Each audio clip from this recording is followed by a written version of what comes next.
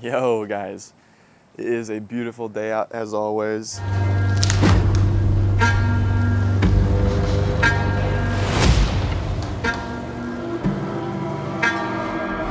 It is basically hell outside. So I wanted to shoot a little video outside, nothing too crazy. We aren't gonna be doing much today, but I wanted to ask the question, one bucket army. Uh, just restart. One bucket army, forget. Look, I just wanted to ask this question, all right? Very simple. How much water do you think you use when you're detailing your car? I see these estimates online that are crazy. They'll say they use about like 50 gallons and I think that's actually like absurd.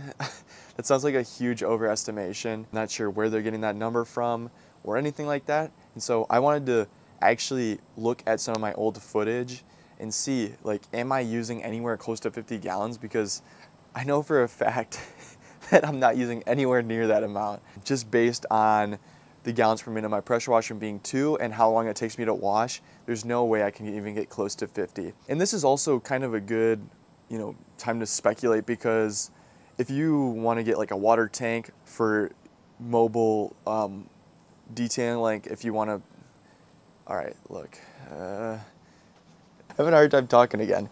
But if you want to get like a water tank for your mobile detailing setup, like how big of a tank should you get depending on how many cars you want to do? Like these are the kinds of questions that I like to ask because it's good to know these things if you're planning for the future or if you want to make a purchase, a big purchase or something like that. So I'm going to go into the studio. I've already looked at the footage and I know how long I was washing my car for and about how much water I've used as a result. Looking at the footage, you need to first understand what are the steps where I'm using water that are going to be prominent on a detailing job. So we're not talking about things like the chemicals I'm using or loading up certain things like that.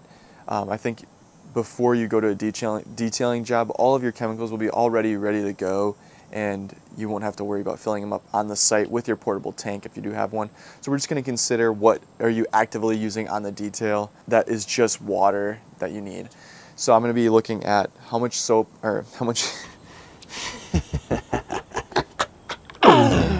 Okay, so I'm gonna be looking at how much water am I using, one, to fill up my buckets, how much water am I using to foam down the car, how much water am I using to rinse down the car, and then also how much water am I using to rinse it down the second time after that hand wash. So we're gonna be looking at the numbers for basically the one step car wash, which is just for if you're foaming down the car. We can also look at the numbers for the two step if you foam and agitate.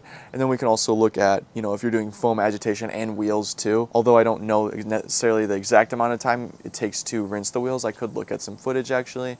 So I'm gonna do that. Those five areas will be kind of our basis for determining, you know, how much water do you need depending on Dude, this bug won't get away from me. So those five steps are going to be kind of the basis for determining how much water we need for the work we are doing. So depending on if you're doing a one, two, one step, two step, one bucket versus two bucket wash method, those kinds of things, these will all determine and change. Dude, get away from me, man. I'm just filming a video. You know, get the frick away from me. Brother, you, you, I don't smell sweet. Crazy. I swear, like last video where I was doing the mist dirt spots, what the heck? Like, there's a freaking fly that flies, and I smack the shit out of it. Bro. so, the bugs just love me. So we'll kind of be looking at those, and so, oh my god, you're back for round two? Buddy! This bee won't leave me alone. Okay, I'm gonna take this inside. Uh, good riddance, brother. Wow, that was annoying. All right. So, got my timeline here. Uh, let me get OBS recording so you guys can see what I'm looking at, and I'll just show you the actual times so you can see and believe what I'm saying. Okay, so first things first, let's look at the bucket uh, step. So I just have a nice three and a half gallon bucket. Um, you could assume I fill the whole thing with water, which I don't, and actually in this video, I'm only filling the bucket for a minute and my hose is about two gallons per minute. So because of that, you know, I only really fill up the bucket with two gallons of water to wash the whole car. And you know, that's the positive of the one bucket one wash method is you're only using one bucket worth of water. So instead of using four gallons of water, I'm only using two there. So that's a good water saving method for you guys out there. That's why we're all part of the one bucket army. That's right. So, you know, that's pretty straightforward. Um, the second part is foaming down the car, and I've cropped it into different chunks of just when I'm foaming. And you can see I go from about 58 seconds to 1 minute and 58 seconds. So I'm only foaming the car for one minute, which tells me I'm using two gallons of water, more or less, um, for foaming down the car, which is really pretty quick. I mean, that's pretty quick stuff. Um, so, so far we're at a total of four gallons with the one bucket wash method or six with the two bucket wash method. The next part is rinsing down the car. So after you foam it, you rinse it. And on average, I've noticed that I take about two minutes and 30 seconds to rinse down the whole car with my pressure washer. And so, you know, with this clip here though, this one wash after the foam, took me about three minutes. But between the two, it was a total of five minutes. Between the two being, I, I rinsed it after the foam and then I also rinsed it after the hand wash. And in another video I did, like most recently one, the, one, the detailing falling asleep video, that one, both of the rinses took me 2 minutes and 30 seconds. So this one has a little bit of variable here, but we can just assume 2 minutes and 30 seconds for both rinse cycles, which is a total of 5 minutes. And that means I'm using 10 gallons of water there. So we have 10 gallons plus 6 right now, or plus 4 if you're doing the one bucket wash method. That's 14 gallons of water to wash your whole car, um, not including wheels and it's 16 gallons of water if you're washing it. it's 16 gallons of water if you're washing it with the two bucket wash method. Now, whether you're using one bucket or two bucket wash method, you're not going to be the percentage of water total you're using isn't that much different, but between the two methods themselves, it's about a 50% difference, or it is a 50% difference. So um, I would heavily recommend using the one bucket wash method and um, saving yourself a little bit of water. You know, we also need to think about things like if I'm doing rubber or plastic floor mats, I'm probably going to be using a few gallons to wash those off. And then we also have the wheels, which um, we can do some calculations on those too. So let me get some footage where I can um, add these into the timeline and then splice them up and then we can see about how much water I'm using for those as well and then we can get a, a nice little total depending on the different methods and stuff like that and uh, yeah, it'll be pretty straightforward, but it's a nice little analysis for you guys. So the license plate is showing right now, but I'm gonna edit my video of the video so that it's blurred out. How sick is that? All right, so after reviewing or getting some of the footage from my recent uh, Detail You Can Sleep To video, um, I found that, you know, uh, you really aren't using too much water for the wheels or for the floor mats. Um, so the wheels if you look at the timeline, I go from about 658 to 809 worth of water. So it's about a minute more or less. So you're going to use about two gallons there. So now we're at, you know, anywhere from 16 to 18 gallons per for a car wash. And then when you do the floor mats, you're adding, you know, about 30 seconds. So 09 to 42, more or less 30 seconds. So one gallon there and so you end up with a nice odd number of 19 to 17 gallons. So if we really break it down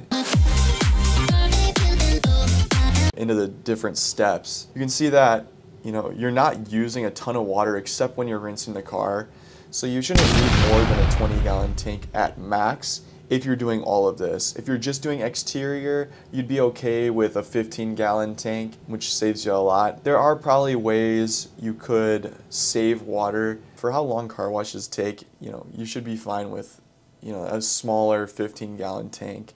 And that might be cutting it a little close. So I haven't tested this out myself, like with a physical tank, but um, I know that, you know, maybe when you get close to the bottom of the tank, it might be kind of hard to for it to pump out that water at the same rate as when the tank was full. I mean, it really depends what kind of tank you get. Let me take this outside. Hopefully that bug won't be bugging me anymore. Okay, that wasn't intended, that bug bugging thing. Okay, ah, stay on track. I just decided to look up the car wash statistic again just to make sure I wasn't crazy. holy crap, these numbers are way off. 40 to 100 gallons for doing it in your driveway or uh, like freaking 65 to 85. That's insane, guys. There's no way you should be using that much water washing your car. It's all very simple math. You could do this yourself. Just You just need to know the gallons per minute of your pressure washer and you just multiply it by how many minutes you're washing your car. Like realistically, that's all it is. And the gallons per minute on your pressure washer might not be exactly two. Might be a little more, might be a little less. It's If anything, it's probably going to be less than what they than what they put there. Yeah, you really shouldn't be expecting to use a whole lot of water during your car wash. Maybe 20 gallons maximum for like a very large car. As you can tell with my car, it's a sedan, so it's a smaller car, and I'm using, you know, depending on what I'm doing, I'm using from anywhere from 14 gallons, being that I just do that two-step wash, all the way to you know 19 being that I'm doing the two bucket wash method with wheels and floor mats. So if you're trying to plan out how much water you need for these different jobs and you know you want to do it mobily or you just maybe want a, a tank in your shop that you know you need to refill every now and then then you know this is how you can do it. It's very simple, very easy. Very easy. All that being said, these are the numbers for you. So if you're just doing a one-step wash, you're not very you're not really using a whole lot of water. You're using six gallons about. You know, maybe that's wrong. I don't know. Well, there are a lot of numbers going on today. And then you also have at the higher end doing your whole car into uh, with the uh, rubber floor mats and the wheels being at 19 gallons you, and you're using the two bucket wash method. So guys, I highly recommend the one bucket wash method.